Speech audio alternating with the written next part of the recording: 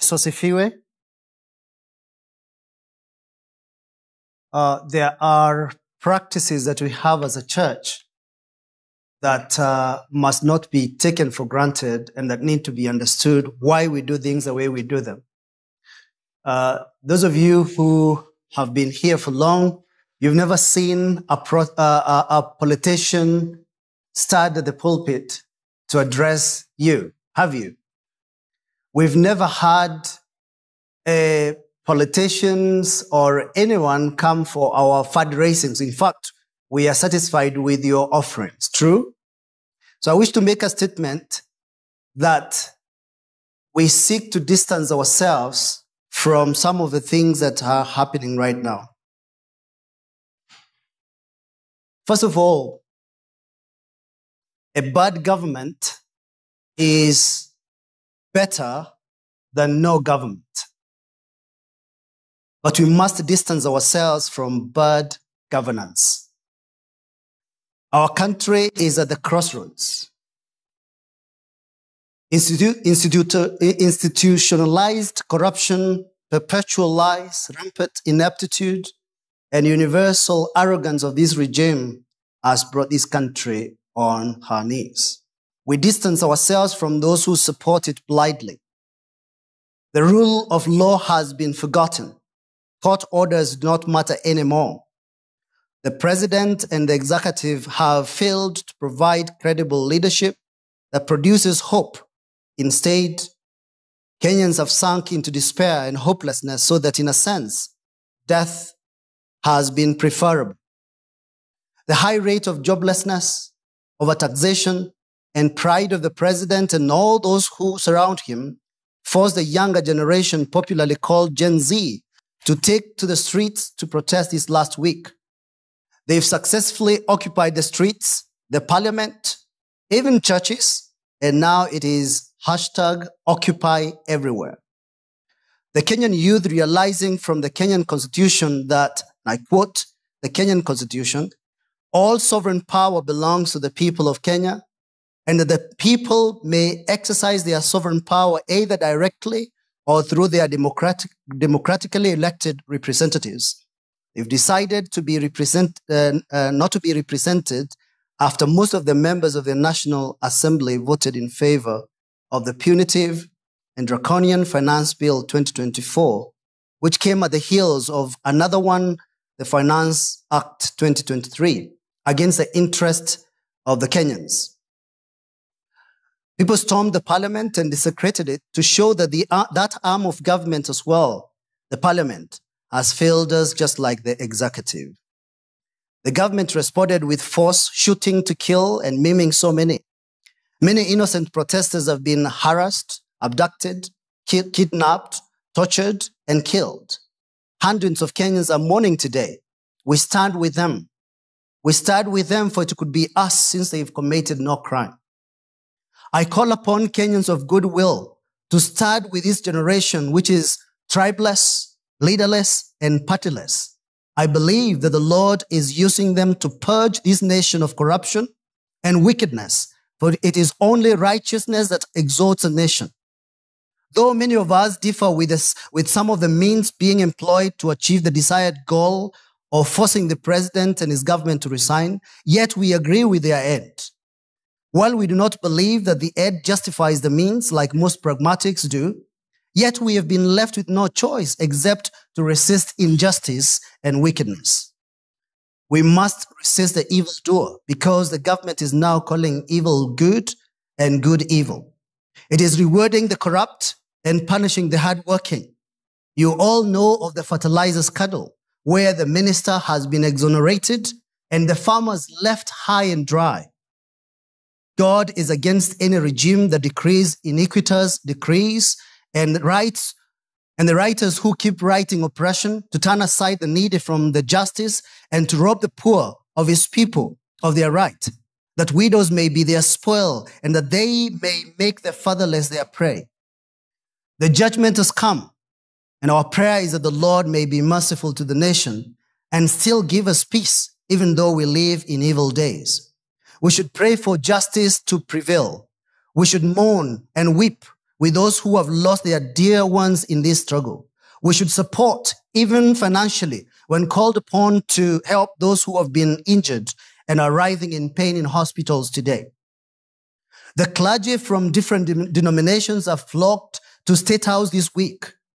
We must not stand with the institution of the church or denominational leaders and the ecumenical bodies who've been unable to offer light to the government. They've been accomplices. They've been unable to be the conscience of this country. Most of them are politicians who occupy ecclesiastical offices. They seem to be innate for money. They've been going to the state house to cheer the president while he is plundering the country with his cronies so that they can get the crumbs from his table. Woe to the clergy, hypocrites, greedy for filthy lucre. They have their reward in full because judgment begins in the house of the Lord. The nation of Israel was destroyed by God into perpetual exile by the Assyrians because of their iniquity. Judah, the southern kingdom, was exiled in Babylon because of the evil in the land perpetuated by their kings and spiritual leaders. The Lord God is a holy God who will not blink at evil or turn blind eye to iniquity and injustices. In conclusion, dear brethren and friends, God is sovereign. It is our sovereign God who in providence ordains whatsoever comes to pass. We must be in prayer now than ever. We must not allow politicians to desecrate the altar of God while they worship their Baal and their mammon called money. We must never ever be a wash-wash tool for politicians who steal from the public and bring those money to churches so that they can be given back later by the back door. We must walk by faith and not by sight. We must renounce ungodliness and worldly passions and live self-controlled upright, and godly lives in the present age, waiting for our blessed hope, the appearing of the glory of our great Savior, Jesus gave himself for us from all lawlessness and to purify for himself a people for his own possessions who are zealous for good works. Let us pray. Our Father and our God, we know that you are the King of kings and the Lord of lords. There is no authority except that is from above. There is no, uh, no one who can be in a position of, of power or in office without your honoring. So Lord, we look to you because we know that you are sovereign. You are the Almighty God. Our nation is at crossroads, but we look to you for help. We pray, dear Lord, that you will come and hear the cries of your people. We pray, dear Lord, that you will hear the cries of those who have lost their dear ones today, those who are mourning, those who are weeping, those who are uh, calling upon friends and relatives to contribute to pay hospital bills because of their dear ones who've been maimed. Oh Lord, we look to you to comfort them. Comfort those who are weeping. Comfort those who have had their, their dear ones killed. Comfort those who are sick. Comfort those who have been injured. Comfort those families, dear Lord. Tears are flowing across the country because life has become unbearable in this land. Lord, you heard the cries of your people in Egypt and you did raise up a Moses and you raised him a leader like no other who led them from, from captivity, the Egyptian captivity to the promised land. We look to you to do the same for our land, O Lord.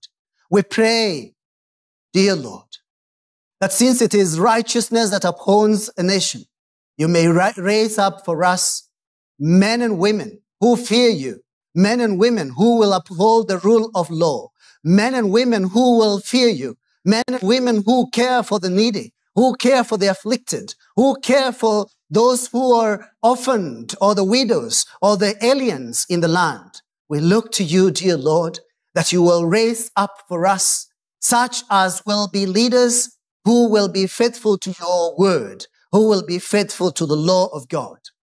We pray, dear Lord, that uh, you will help us, that we will not drift any further and fall into the precipice of anarchy.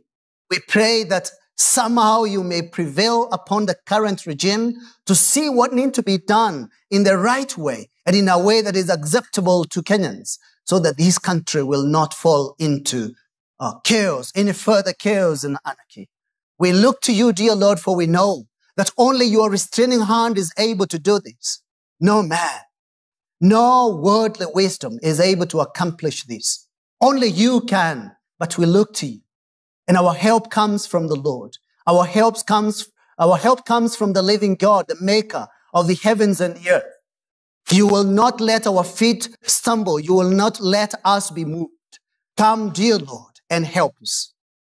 We pray also that uh, it will be in your grace that soon the IEBC will be reconstituted with faithful, godly commissioners, men and women who fear you, men and women who stand for justice. And we ask, oh Lord, that this will be to usher in a new government that cares for its citizens. We pray also that our Lord, you will remember the so-called church in this land. They failed to preach the gospel.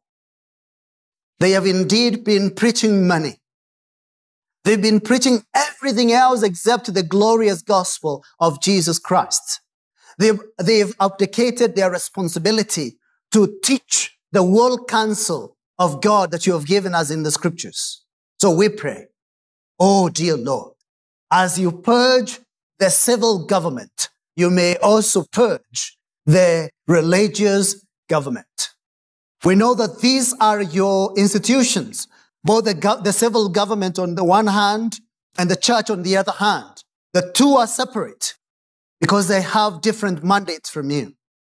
So Lord, we pray then that as we desire for good governance in with the civil authorities, there would also be good governance in ecclesiastical authorities. May those who serve as pastors not be greedy for dishonest gain. May those of us who serve as pastors not be lovers of money. May we not be those who fall into filthy lucre. Help us, dear Lord, to be willing to wait upon you to give us what you provide for us. For you've said in your word that the laborer is worthy his wages. But we need to be content with what you give us. So we pray that the church will be the beautiful bride of our Savior Christ, so that we will have white linen. Our righteous deeds would be obvious to the world, and in so doing, we will be the light of the world. We will be the salt of the world the fruit of the Spirit would be obvious to the world and they will glorify the God in us and want to be as Christians as we are. But as it is, dear Lord, the church has filled the nation. The so-called church, which has really been more political than ecclesiastical. And we look to you, dear Lord, that you will intervene so that you will bring down any so-called church that does not represent the head of the church, the Lord Jesus Christ.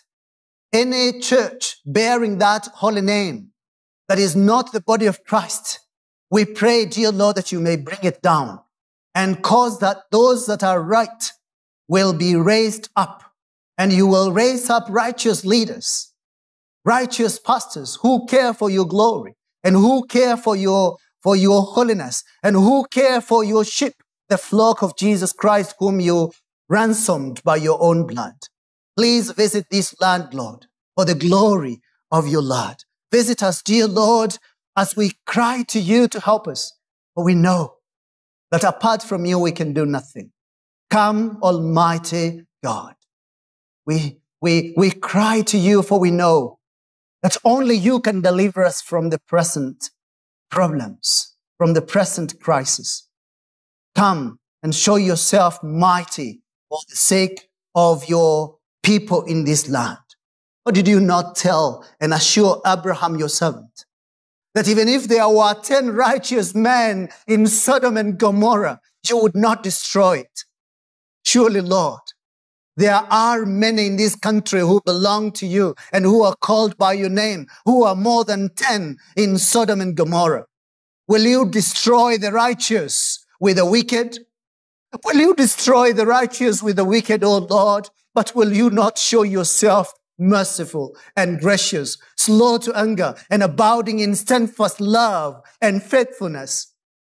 Lord, we look to you to help us. To help us, Lord, that uh, we will not sink any further into chaos. If there is any officer that needs to be removed from his office, you can do it by a fiat. You can do that. Just like by the word of your power, you created this universe. You can remove any man by your word, just like you will destroy the Antichrist by the word from your mouth. So do the same, dear Lord, for the sake of your glory, for the sake of your church, for the sake of the purity of the bride of Christ, for the sake of the elect, for the sake of the people whom you have ransomed by the blood of your Son, in whose name we pray. Amen.